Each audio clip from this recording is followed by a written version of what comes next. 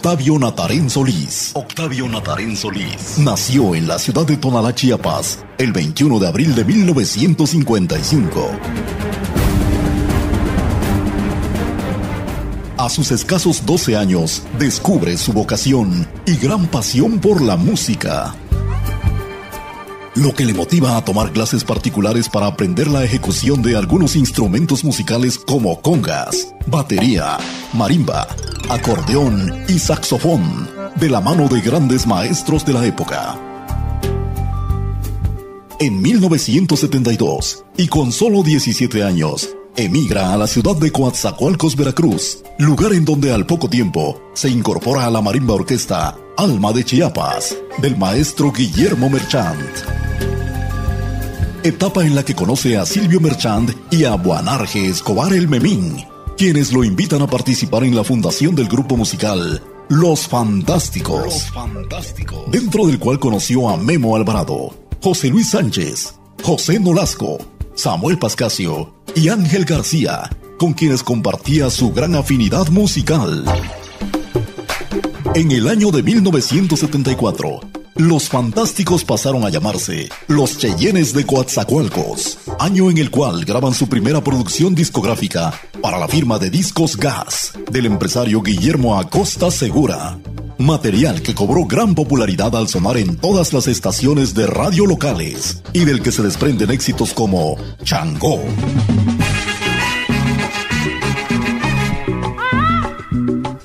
Ismeña Linda. Me de cuando me enamoré. Era una preciosa ismeña que yo nunca olvidaré. Mi velero.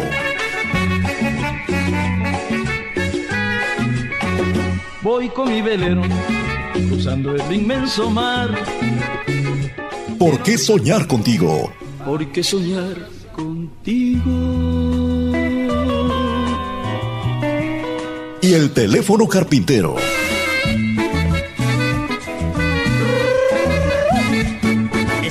Teléfono parece carpintero, siempre hace ring, siempre hace ring.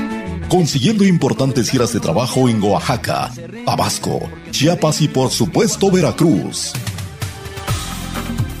Para el año de 1975, los Cheyennes graban su segundo álbum musical y del que obtienen éxitos como El Gas.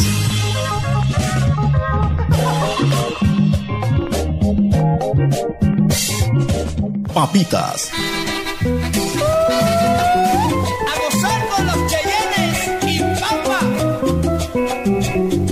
Totopo con queso. con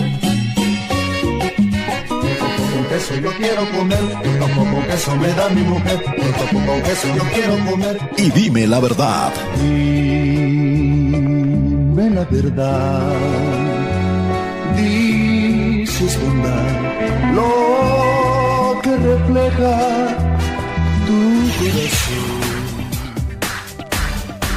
Su tercer álbum musical vio la luz en 1976 e incluyó canciones como Chivateando, Van a chivatear, van a chivatear. Lorena, Tu nombre Lorena, como una azucena al amanecer. No existe el amor, No, no existe el amor. Esta es solo una fábula inventada por ti. y El Son de la Loma, son de la loma, tamayos cantan en llano, tamayos son de la loma, cantan. que también fueron contundentes éxitos radiofónicos. En el año de 1977, los Cheyennes publican su cuarto disco, este producido en Guadalajara, Jalisco, México, mismo que obtuvo grandes éxitos como Niltepecana, Iltepecana tenías que ser, hoy en día eres mi mujer. Las Serpentinas,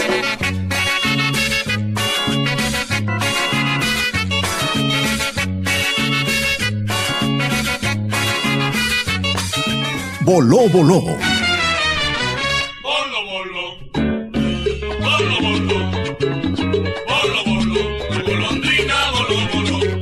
Quise tenerte. Quise tenerte. También besarte. Y adorarte. Y duelen los recuerdos. Duelen los recuerdos que dejaste en mi alma. Porque al recordarte sé que otro amas que vinieron a sumarse a los anteriores éxitos y que les redituó muchas satisfacciones económicas y profesionales. Las giras artísticas de los Cheyennes se extendieron a muchos más estados de la República Mexicana, inclusive al extranjero, en los países vecinos de Guatemala y El Salvador. En 1985, y por circunstancias multifactoriales, la exitosa trayectoria de los Cheyennes de Coatzacoalcos llegó a su irreversible y lamentable final.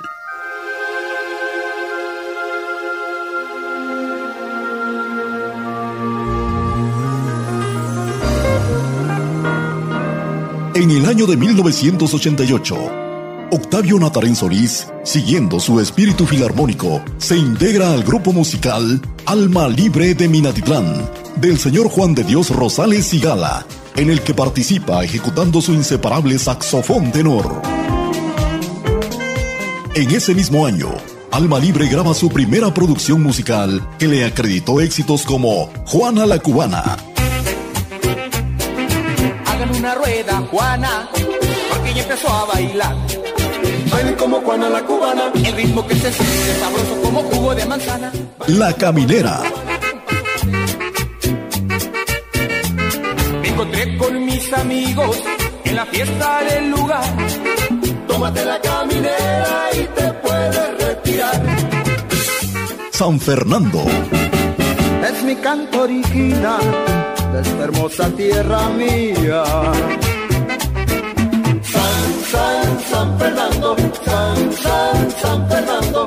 Y Danzón Almendra.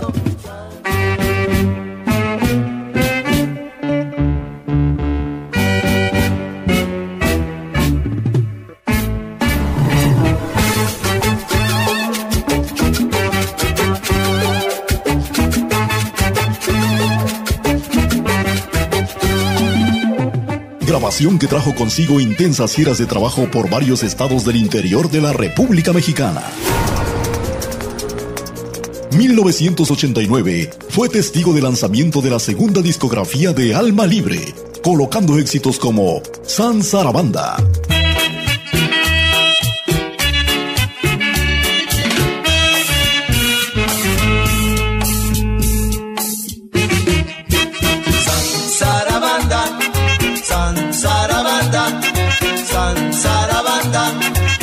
El Farolito. En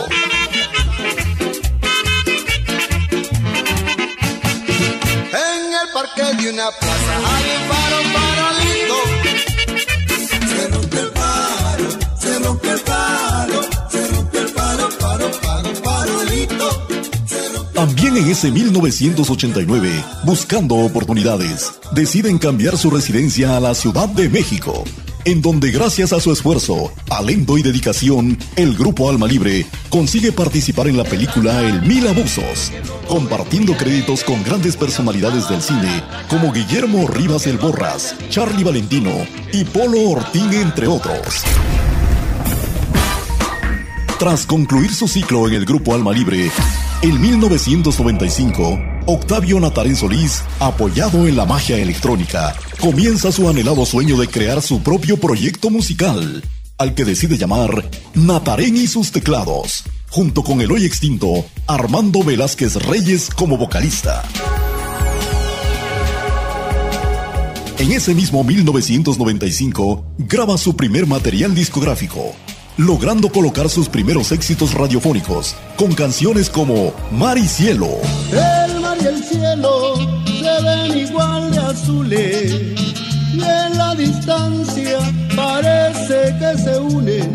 Burbujas, Y ahora todos vamos a bailar con la burbuja, vamos a gozar. Vayan pa' acá, bailando con sabor al ritmo que toca mi saxofón. Ismenia Linda, Recuerdos gratos me quedan de cuando me enamoré. Era una preciosa ismeña que yo nunca olvidaré. Mi Velero. Voy con mi velero, cruzando el inmenso mar. La escoba. Esta es la escoba, esta es la escoba, la escoba para barrer. Esta es la escoba, esta es la escoba, la escoba para barrer. Esta es la escoba. Y la caminera. Me encontré con mis amigos en la fiesta del lugar y de pronto que me vieron invitaron a tomar. Temas que también le abrieron las puertas en los estados de Tabasco, Chiapas y Veracruz, con intensas giras de trabajo. En 1998, Natarín y sus teclados graba su segunda producción musical, en la que ya se hace acompañar de sus descendientes, Lucila y Octavio Francisco Natarén Damas, así como su amigo el locutor Juan Torruco Reina, con quienes logra los éxitos El Bombón, Es que llegó el bombón, bailando, bailando llegó el bombón, gozando, gozando llegó el bombón. Anacleto, Anacleto es un muchacho de estatura singular. Anacleto mueve La Playita, Cuando el sol está que quema, yo me voy para la playa a gozar las cosas buenas. Opurrí con sabrosura,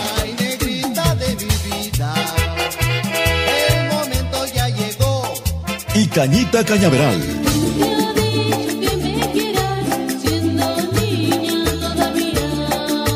Grabación que también se tradujo en grandes giras de trabajo e incursión en programas de televisión en Veracruz como Bazar del Hogar del desaparecido Joe de Lara y el programa Revista de Hoy de la televisión tabasqueña. Transcurría el año 2005 cuando Natarín y sus teclados graba su tercer álbum musical, acompañado de Marcelo Cruz García y de sus hijos Cecilia y Octavio Francisco Natarén Damas, producción con la cual consiguen los éxitos Popurrí de Reversa, De reversa, mami, de reversa, mami, de reversa, mami, de reversa. Ilusión, Te miré, desde entonces yo te amo. Muchacha Triste,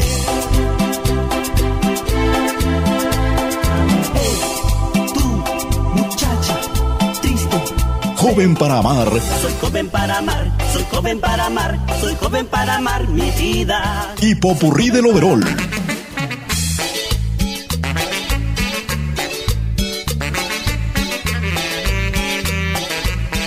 Que lo siguió conectando acertadamente con su público. Hoy, esta noche, el grupo Coatzayinis rinde un emotivo y merecido homenaje en vida a la trayectoria, dedicación y talento de Octavio Natarén Solís. Octavio Natarén Solís. Quien con el aplauso de todos ustedes llega para compartir en vivo su destacado, trabajo, musical, haciéndose acompañar de Eduardo David Natarén Rodríguez en el Guiro. Octavio Francisco Natarén Damas en los teclados. Eduardo Arturo Natarín Matías en los timbales. Emanuel Natarín Reyes en el sax alto. Cecilia Natarín Damas, vocalista y violín. Y Simei Natarín Damas en las maracas. Ellos son quienes en este 2024 constituyen el grupo musical Natarén. Grupo musical Natarén. Que ustedes lo disfruten. Les saluda Joaquín Antonio, locutor de la poderosa 103.5 FM Coatzacoalcos. La poderosa. Sean bienvenidos.